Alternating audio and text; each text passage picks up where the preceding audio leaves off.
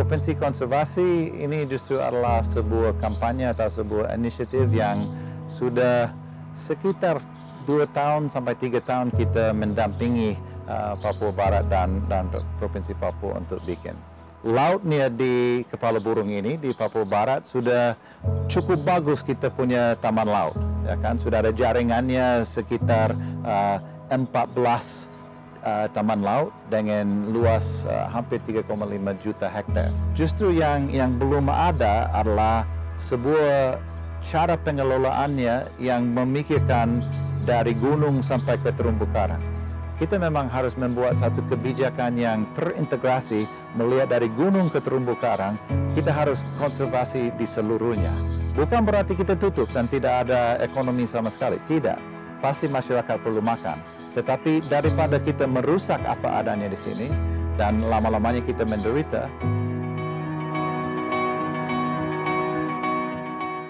Semua masyarakat adat yang ada di provinsi Papua Barat harus bisa memahami tujuan dari provinsi konservasi ini. Karena sebenarnya menurut saya bahwa provinsi konservasi itu sudah memihak kepada masyarakat. Kenapa?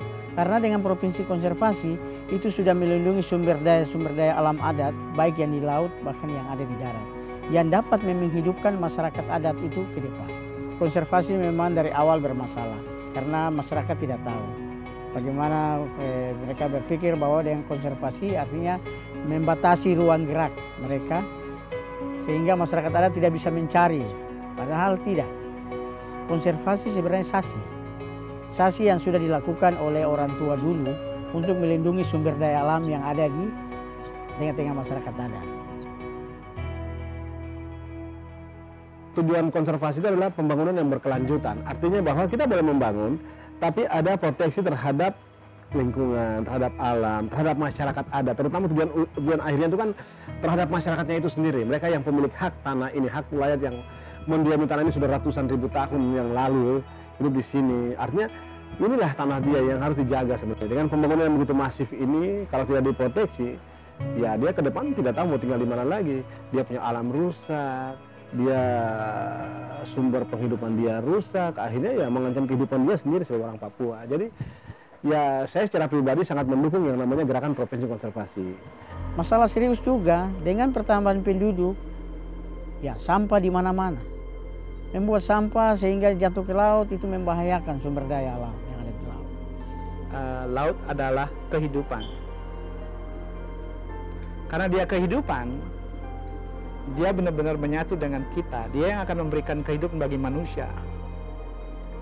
Karena kalau kita lihat Indonesia, kita 75% laut. Daratan kita cuma kurang dari 25%. Laut is a system sebagai sebuah sistem, dia punya keterbatasan.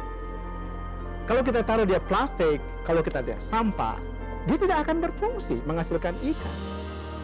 Nah kalau sekarang kita taruh sampah, menutupi semua apa namanya permukaan laut.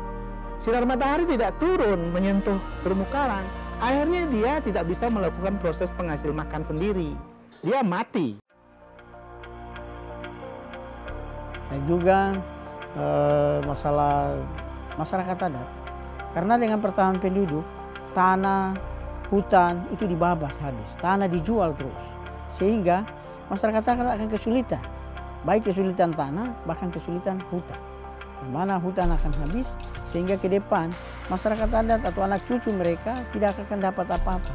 Itu akan menjadi sulit bagi kehidupan mereka ya mungkin 10, 20 tahun atau 30 tahun ke depan saya sudah himbau kepada masyarakat, kalian punya potensi-potensi lahan yang bagus, jangan dijual. Mari datang dengan investor, datang ketemu dengan pemerintah, supaya kita mengatur apa yang maksud, maksud dan tujuannya, supaya itu tidak pertama adalah apakah itu bisa terproses satu ada bangunannya ataupun ada yang bisa diinvestasikan mungkin saja lingkungan itu tidak bisa masuk di dalam pengembangan daerah resort. Ini harus perlu kita jaga. Bagaimanapun kita nggak bisa pungkiri bahwa investasi itu adalah salah satu faktor penentu yang membuat kita jadi maju lah ke depan. Memberikan kita peluang-peluang untuk lebih berkembang, lebih maju. Tapi mereka harus bertanggung jawab. Artinya kan di situ. Jadi konservasi ini mengatur supaya mereka masuk, tapi tolong lakukan pembangunan dengan bertanggung jawab, berkelanjutan. Artinya kau boleh buka lahan, tapi buka lahan sesuai dengan peruntukan. Tuhan sayang Papua.